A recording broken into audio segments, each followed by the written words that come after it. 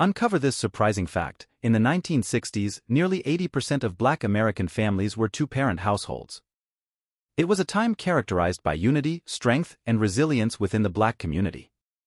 However, as the years passed, this solid family structure began to crumble due to several factors.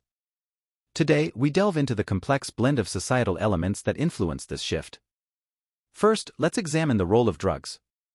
The 1980s marked the beginning of the war on drugs, a policy that disproportionately affected black communities. An influx of drugs created a vicious cycle of addiction, imprisonment, and broken families. Fathers and mothers were removed from homes, leaving children to fend for themselves.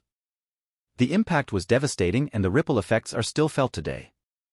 Then there were the gangs. With absent parental figures, many young black Americans sought solace and belonging in gangs. This resulted in an increase in violence, crime, and further societal disintegration.